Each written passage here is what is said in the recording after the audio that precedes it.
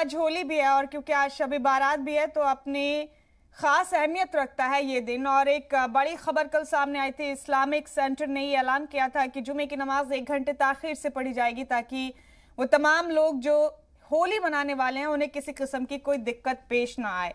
इस strong message की शुएब किस कदर दरकार थी, जरा बताइए। देखिए, ज़ाहिर सी बात है कि तमाम मज़हब को मानने वाले जो लोग हैं, वो हमारे मुल्क में रहते हैं। और सभी के त्यौहार है। और ऐसे में अगर आपसी समझ और आपसी भाईचारे से इस तरह की कोशिश की जाती है तो इसकी तारीफ़ होनी चाहिए और इसकी सराहना हर कोई कर रहा है। यकीनन ना सिर्फ़ लखनऊ से मैसेज आया, बल्कि दूसरी जगहों से भी लगातार ये मैसेज आए हैं कि अमन और भाईचारा कायम रहे।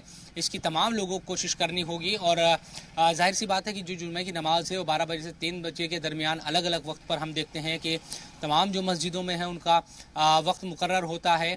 तो अगर होली का त्यौहार है और ऐसे वक्त में नमाज़ का जो वक्त है किसी मस्जिद का वो चूँकि नमाज़ तो हो जाती है थोड़ा जो वक्त है वो तब्दील कर दिया जाता है। तो ये कोशिश है इसीलिए कि ताकि अमन और भाईचारा कायम रहे किसी तरह की किसी को दिक्कत ना हो। होली का होली का जो त्यौहार है वो भी अमूमन हम देखते हैं कि 12 या 1 बजे तक ही तमाम जो लोग हैं वो मनाते हैं। उसके बाद आ, लोग अपने जो कामकाज है या तमाम चीज़ें उस पर लौट जाते हैं। अभी सड़कों पर सन्नाटा है क्योंकि लोग अपने घरों के आसपास ही ज़्यादातर होली का त्यौहार मना रहे हैं। लेकिन सड़कों पर जो चहल पहल है आ, वो एक बजे के बाद आपको नज़र आएगी दिल्ली हो या दूसरा शहर हो।